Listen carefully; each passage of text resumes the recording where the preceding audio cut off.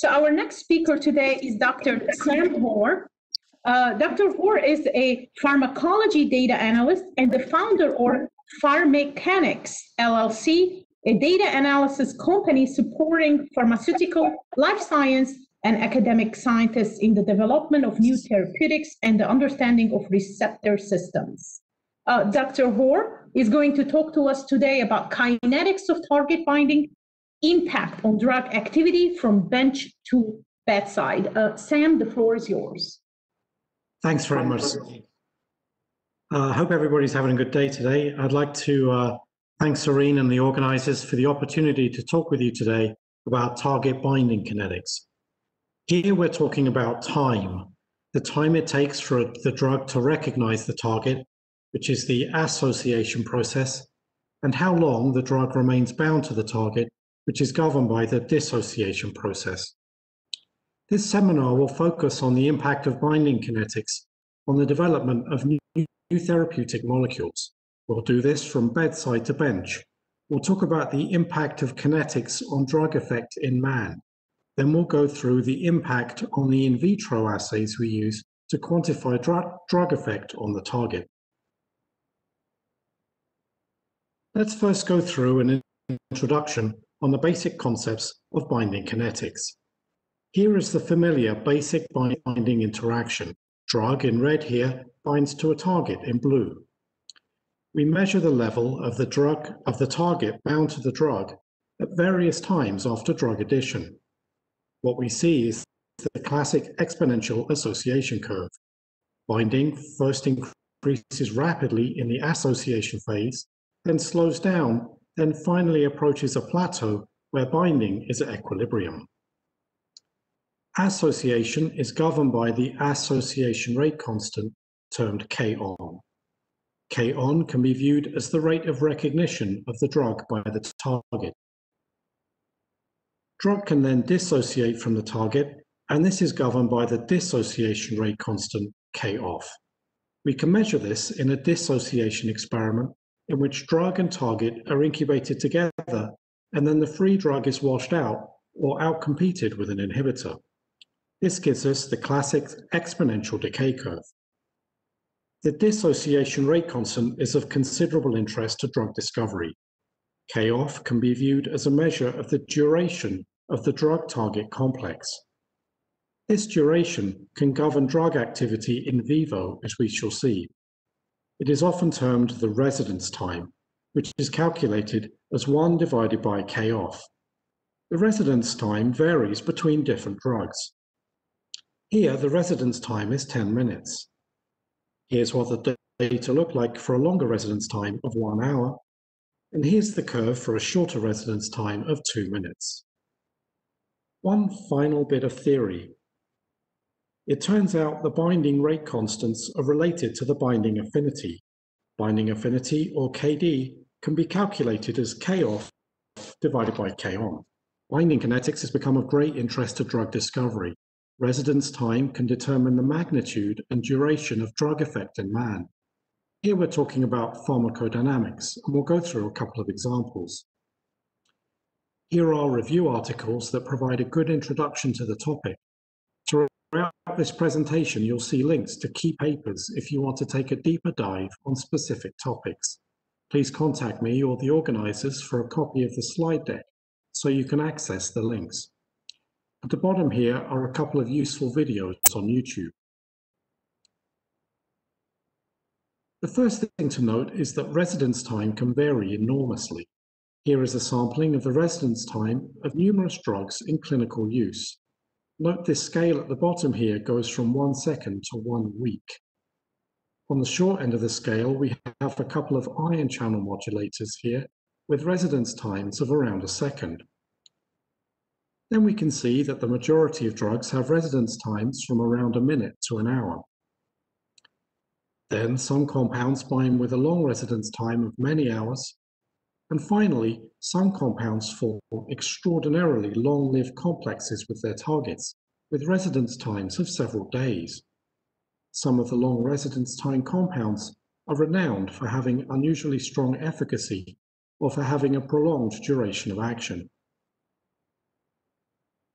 That completes the introduction. Here's the outline for the rest of the presentation.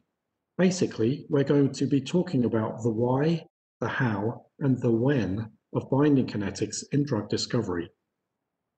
Why should we think about kinetics? I'll go through two reasons. First is that kinetics can impact drug effect in man and in animal models. I'll go through this briefly, showing a couple of key examples.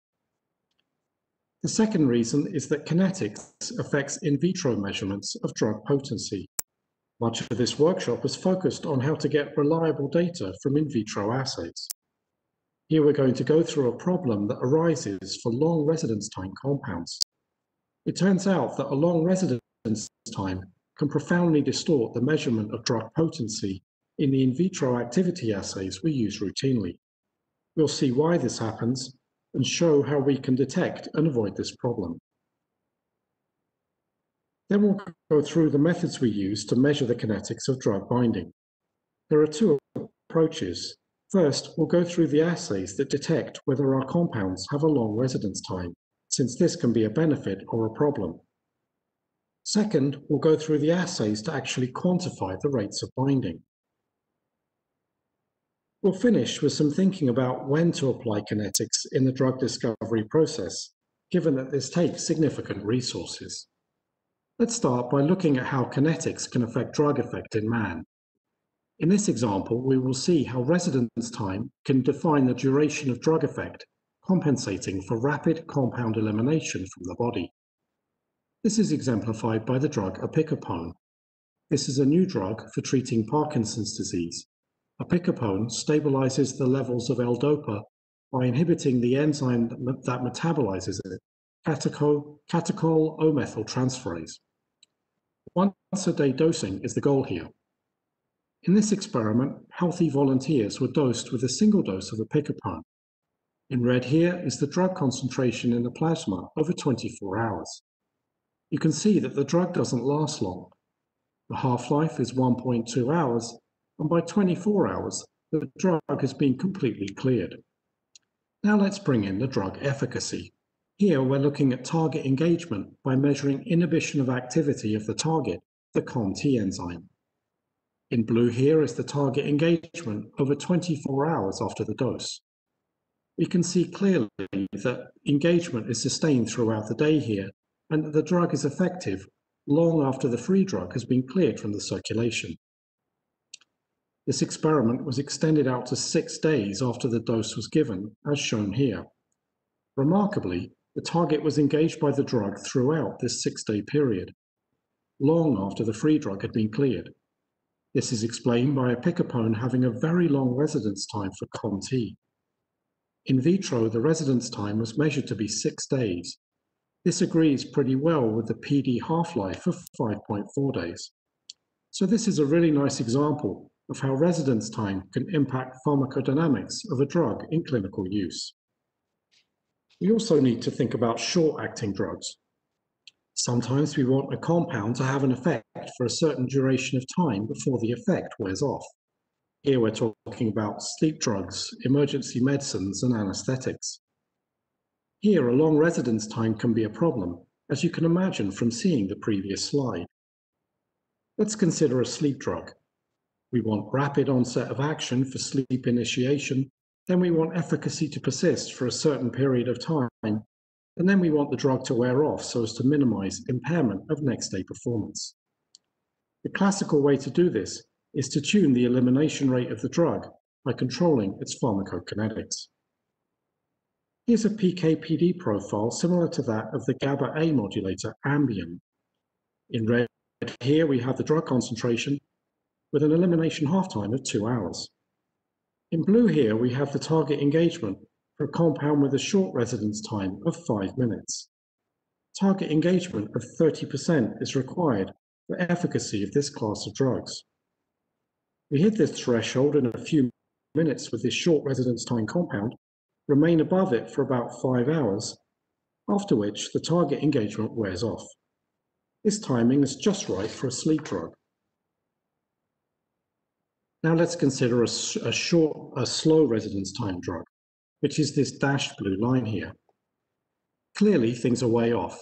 This compound has the same affinity as the first one, but has a much longer residence time at six hours. The first thing to notice is the onset is very much delayed. We're not reaching threshold until three hours. This is actually anticipated. Long residence time drugs take longer to equilibrate with the target, and this has a sound basis in theory, and we'll be coming back to it later. This delay means the drug won't help with sleep onset. The second thing is that the duration goes out to seven hours, which will produce next day impairment effects. It's worth pausing here and thinking about the drug development process. Until recently, residence time was not measured very often before taking a drug into the clinic. It was implicitly assumed compounds have a short residence time and that the drug effect is defined by pharmacokinetics. The two examples we've just seen show how a long residence time can profoundly distort pharmacodynamics, and there have been instances of this happening for unexpectedly long residence time drugs when they were taken into the clinic. It's best instead to measure the residence time of clinical candidates before advancing to expensive clinical trials. Here we've gone through a couple of examples. There are a lot of potential scenarios, and these papers here are an excellent resource for those of you who want to look into this more. If you want to run your own simulations, there is a collection of easy to use simulators available for free at this link. One thing to note is that the extent of the effect of the residence time is dependent on the relationship between the compound pharmacokinetics and the target binding kinetics. For example, when the compound resides in the body a lot longer than it resides on the target, the target residence time doesn't have much of an effect. Now we're going to turn our attention to the in vitro phase of drug discovery. Here we're talking about the target-based assays we use to quantify compound potency to establish SAR and optimize new molecules. We're going to see some scary stuff. It turns out that a long residence time can, in certain circumstances, really mess up with these assays. Specifically, a long residence time can result in dramatic underestimation of the affinity of our compounds if these assays are not incubated for long enough. Now, this is based on one of those little details that pharmacologists think about. This detail is that drug affinity is an equilibrium parameter. Affinity is the concentration of drug required to occupy 50% of the targets at equilibrium. Now, it takes time for equilibrium to be reached. When you look into the mechanics, something surprising emerges. The time it takes to reach equilibrium is dependent on the residence time. Compounds with a long residence time take a long time to reach equilibrium. For such compounds, if we don't incubate the assay for long enough, we will underestimate their affinity for the target. Let's see this in action. In this experiment, we are measuring the affinity of a compound binding to a target using a standard binding saturation assay. This is a compound with a long residence time of six hours. The affinity of this compound is one nanomolar, and the black line on the graph here shows the true affinity of the compound for the target. Now let's assume an incubation time of only 10 minutes. Something we might use in a functional assay, for example, Something is clearly wrong here. The affinity is 1 nanomolar, but the midpoint here is 20 nanomolar. So this assay isn't reporting the affinity correctly. With a short incubation time, we're dramatically underestimating the affinity. Now let's increase the incubation time to one hour, something we might use in a binding assay. This assay is still not reporting the affinity correctly. The measured affinity here is 4 nanomolar. It turns out we have to increase the incubation time out to 12 hours for this assay to report the affinity correctly, shown by the data in red here. How long should we incubate the assay? The incubation time needs to be, needs to be at least two times as long as the residence time for assays to correctly quantify the affinity according to simulations and experiments. One obvious message from this slide is that we should avoid really short incubation times for our SAR, assay. This artifact is based on the mechanics of ligand association with the target. Here is a graph showing the time course of target occupancy by the compound from the previous slide. This is shown for various concentrations of the compound from 100 nanomolar down to 0.032 nanomolar. When equilibrium is reached, the curve reaches a plateau, which is on the right-hand side here. The thing to notice here is that the time it takes equilibrium to be reached is dependent on the concentration of compound. Equilibrium for the highest concentration, 100 nanomolar in blue here, is reached within a few minutes. By contrast, for the lower concentrations, for example, 0.32 nanomolar here, it takes a lot longer. It takes 12 hours for this curve to, to reach the equilibrium plateau. It is this that distorts the binding curve we saw on the previous slide. Now this is just a single compound. What happens when we have a range of compounds with a range of residence times? It turns out this underestimation of affinity is dependent on the residence time of the compound. Here we have binding curves for a series of compounds with a range of affinity. This graph assumes we are at equilibrium, so the experiment is faithfully reporting the affinity. In this example, we assume the affinity is determined by the residence time. The longer the residence time, the higher the affinity of the ligand. We have a compound in blue on the left here with a residence time of 48 hours and an affinity of 23 picomolar.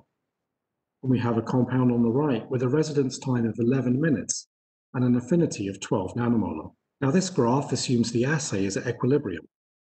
What happens now if we assume an incubation time of one hour? Here's what the data look like. What this clearly shows is that the assay is not discriminating between high affinity compounds here. They are all bunching up around 1 nanomolar. At one hour, we are nowhere near equilibrium for the longer residence time compounds. Remember, we need an incubation time that is double the residence time for the assay to approach equilibrium. Now we can determine the apparent affinity, or the KD, from the, the midpoint of the curves, as shown here. We can plot these values as a column graph, and that's shown on the next slide here. On the left, we have plotted the true affinity of the compounds at equilibrium, and on the right is the affinity measured using the one-hour incubation time. The 48-hour residence time compound here has a real affinity of 23 picomolar, but a measured affinity of 690 picomolar after an hour. This underestimates affinity by 30-fold. However, for the shorter residence time compound of 11 minutes, the one-hour incubation reliably quantif quantifies the affinity at 12 nanomolar. When we look at the dataset as a whole, we can see at one hour we hit an assay floor. The compounds all bunch up around the one nanomolar mark. This means compounds could be a lot more potent, but we would not be able to detect them using the one-hour incubation. This region here represents a lot of SAR that we wouldn't be able to detect using this assay. This can do a lot of damage to drug discovery campaigns. Often the best compounds go unnoticed because we're not incubating long enough to detect their high affinity. This results in missed SAR opportunities and failure to test the best compounds in vivo. It can even impact human dosing because the compound could be a lot more potent than we think it is. This artifact happens because the residence time determines the time it takes for equilibrium to be reached. This rather surprising fact is shown on the association graphs here. On the left, we have a long residence time compound from the previous slide of six hours. On the right, we have a shorter residence time compound of 23 minutes. For the long residence time, it takes a long time to reach equilibrium, here we have the six hour time point and we're still not at the plateau for the lower concentrations. Contrast that with the short residence time compound on the right. Here the equilibrium plateau is reached within one hour for the low concentrations of ligand. It is this surprising dependence of equilibration time on residence time that underlies the artifacts that distort the measurement of affinity if the incubation time isn't long enough. This situation arises in drug discovery. For a good example, this case study on GPCR antagonists provides a perspective on the real-world implications of affinity distortion resulting from long residence times. This study focuses particularly on how the distortion can produce a di disabling disconnect between in vivo efficacy results and in vitro affinity measurements, and how this can be resolved by measuring binding kinetics. Now, having gone through the benefits and liabilities, we come to the methods that can be used to evaluate binding kinetics. There is an ocean of information on this, and here are some really, really useful reviews. There are a couple of ways to look at binding kinetics in drug discovery. First is an approach that asks, do my compounds have long residence times? This qualitative approach does not take a lot of resources. Given the potential benefits and liabilities of the long residence time, it's good to have ways of addressing this without going to too much trouble. The second approach is to measure the rates of binding using dedicated kinetics assays. These are usually feasible, but require more resources. We'll start with the first approach, detecting whether compounds have a long residence time. One simple way to do this is the so-called Ki shift assay. Here's an example for a receptor, the gonadotropin-releasing hormone receptor. What we have here is a simple competition ligand binding assay. Compound is competed against a tracer in a dose-response format. Then this is run at two different times, a short incubation of 30 minutes here, and a much longer incubation of 10 hours. If the compound has a long residence time, as shown in this graph, the dose response will shift to the left for the longer incubation. In other words, the compound will appear to be more potent. If the compound has a short residence time, as shown here, the curves for the time points will overlie one another. The data can be analyzed by calculating the Ki shift dividing the Ki of the short incubation by the Ki for the long one. Here is a plot of the Ki shift of 78 compounds in the assay. Seven of these had a ratio greater than 6 and were then shown to have a long residence time, in this case 90 minutes or longer. Another quick check is the insurmountability test. This is popular for cell signaling assays and is used for antagonist compounds. Here we have an example of cyclic AMP generation by a GPCR, the receptor for corticotropin releasing factor.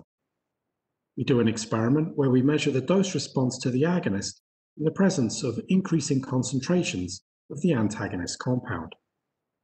There's a nice diagnostic pattern that can emerge. Short residence time compounds, like the one on the left, produce a shift of the dose response curve, but they do not reduce the maximal response. These curves all plateau at the same level. By contrast, a long residence time compound behaves differently. The antagonist reduces the maximal response to the agonist. This is called insurmountability, and it can be diagnostic of a long residence time. This isn't always the case though. Allosteric modulators can also produce this insurmountable behavior. If we figure out there is a residence time issue on the target, the next stage is to measure the binding, the binding rates K on and K off.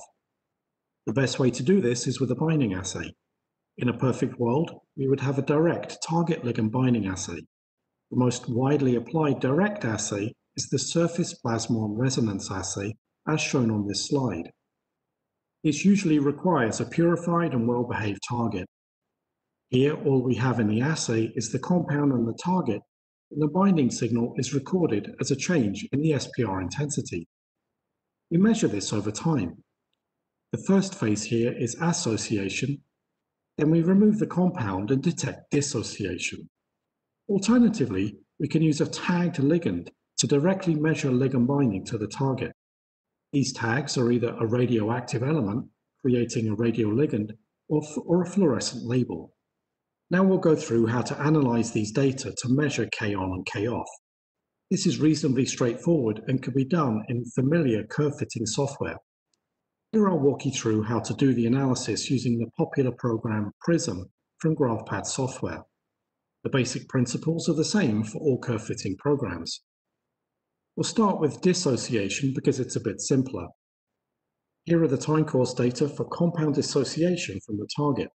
This can be obtained by incubating compound and target together until equilibrium is reached, then washing out the free compound to initiate the dissociation phase. We open the analysis dialog, which is here, and this takes us to a list of equations. One of the sets relates to target binding kinetics. Now we select the relevant equation, dissociation one-phase exponential decay. If you click on details here, this gives background on the fit, and here's the equation right here. Let's close this and return to the analysis dialog. We click OK here to run the analysis. And this gives us the fitted curve that you can see here, and here is the results table.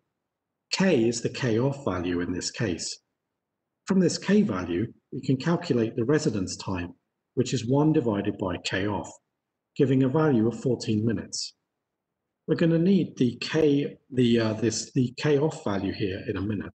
Now let's do the association analysis to measure the association rate constant. In this experiment, target and drug are combined and the level of drug-target complex measured over time. We open this in Prism. Then we open the analysis dialog as before. The equation we want is association kinetics, one concentration of hot. In this analysis, we need to enter a couple of constants. We go to the Constrain tab here. We need to enter the K off value from the previous slide, and we also need to enter the concentration of compound in nanomolar. We click OK here to run the analysis, and here are the results. The results table here shows the fitted value of K on, in this case about 3 times 10 to the 7 inverse molar times inverse time. The units for K on are kind of abstract, unfortunately.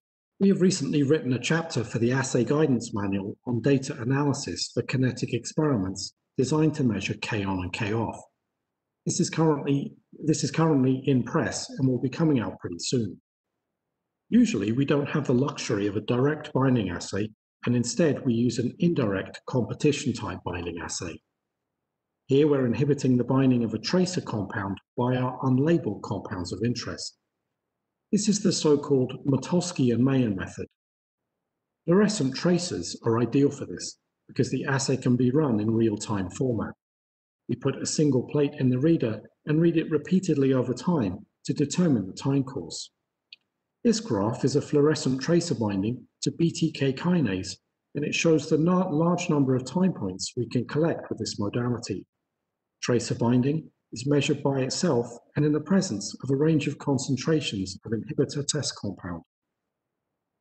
What we do now is to fit these data to an equation which returns fitted values of K on and K off of our unlabeled test compound. This method allows us to measure the affinity of long residence time compounds. We can calculate the affinity, or KD, by dividing K off by K on, as we mentioned earlier.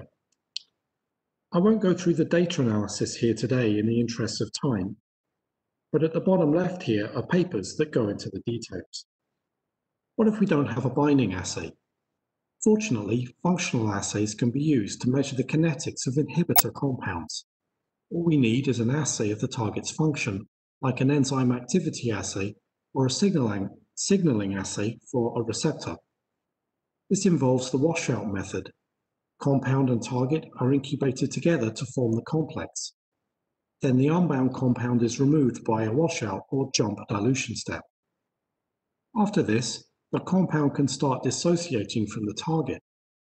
We then add the reagents to measure target activity like enzyme substrate or receptor agonist. When the compound dissociates from the target, activity of the protein commences that we can measure by product formation or signal generation. Here is an example for an enzyme using the jump dilution method. Here we're measuring ADP release by the protein kinase ABL1. We see the straight line time course for the control without inhibitor. In the other traces, we, we see the inhibitor slows down the enzyme activity, and this is because the inhibitor first has to dissociate before the enzyme activity starts. An equation is available to analyze these curves to determine the dissociation rate shown in the table here. Here's an example for a cell signaling assay. Here the H1 histamine receptor is incubated overnight with antagonist. The antagonist is then washed away and the cells are then incubated for various times before the addition of histamine. The response is, is measured a short time after histamine is added. In this case, we're measuring calcium signaling. On the right is the graph. Here, the y-axis is the time interval between washout of antagonist and the measurement of the histamine response. Mepyramine dissociates rapidly, so the agonist res response returns quickly. Other compounds dissociate more slowly, so it takes longer for the response to come back. The data are fit to, to, simple, to a simple exponential equation to determine the antagonist residence times, shown here. Now we will conclude with the question of when to measure binding kinetics in the drug discovery cascade. As you have seen, kinetics has major implications for the quantification of drug effect, but it does take a commitment of resources to evaluate the kinetics. A reasonable trade-off is to assess the kinetics of lead compounds, for example, at the advanced lead stage when we are starting to test compounds in vivo. This can avoid surprises of in vivo activity that can result from slow dissociation. This can be extended to selected compounds from hit to lead to see if there is a residence time issue for the series. At this stage, qualitative assays can be used to test for a long residence time. This can be modified by circumstances. It may, it may be decided before a project starts that a long residence time is, is a necessary feature of the therapeutic mode of action, and kinetic assays will be built into the project from the start.